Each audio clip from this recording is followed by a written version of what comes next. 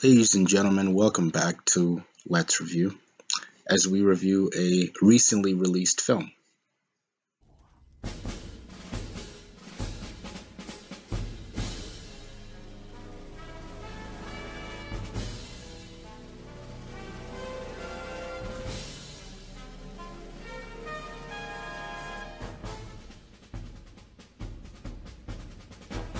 So the plan here is to discuss the overview of the movie, meaning who made it.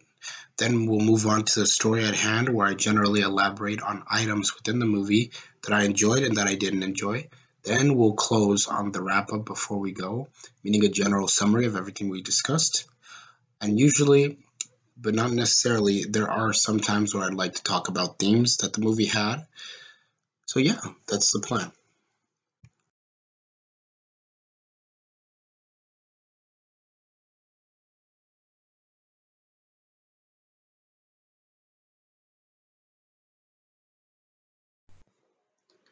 Now, let's review.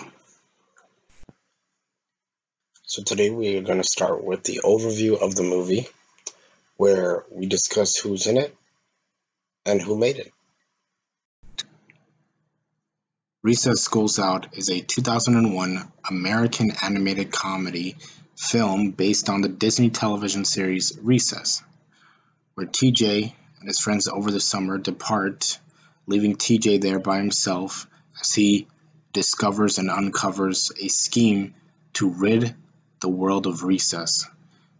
And doing so requires his friends for help. So the review of the movie goes as follows. So my review of the movie was that the movie had great direction, an adventurous story, fun writing, really great voiceover work, and an overall awesome movie uh, to watch. So, moving on also to the wrap up before we go.